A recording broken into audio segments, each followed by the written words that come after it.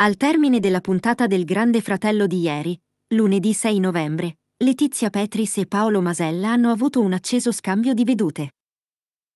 Durante la diretta, i concorrenti hanno assistito a due momenti molto romantici. L'incontro tra Beatrice Luzzi e l'ex compagno Alessandro Cisillin, e quello fra Angelica Bardaldi e il fidanzato Riccardo Romagnoli. Dopo quest'occasione, Paolo ha sottolineato che negli occhi di Angelica c'è una luce forte, una luce dovuta al sentimento che la ragazza prova per il suo fidanzato. In seguito a queste affermazioni, il macellaio ha dichiarato di sperare che un giorno anche Letizia abbia la stessa luce negli occhi quando guarda lui. La fotografa, però, non sembra aver preso molto bene queste parole e dopo aver avuto uno screzio con Beatrice, dovuto alla nomination ricevuta dall'attrice, si dirige dritta da Paolo per chiarire questa questione.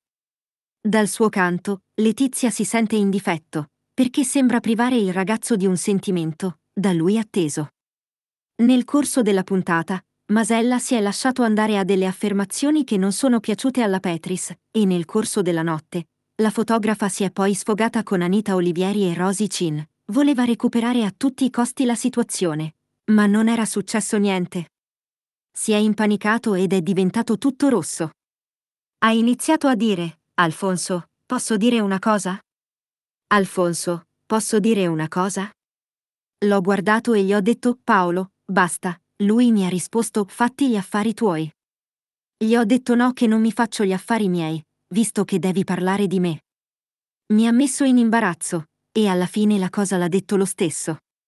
Per me si impunta su delle cose che sono un po' pesanti, e dal momento che io vengo già da una situazione pesante mi sono incasterisco asterisco ata.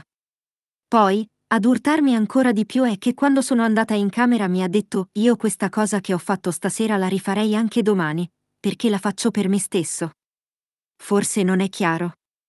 Io non ho chiuso la mia relazione per fidanzarmi con Paolo, l'ho chiusa per stare bene io, e poi ho anche la fortuna di avere una persona che mi fa star benissimo.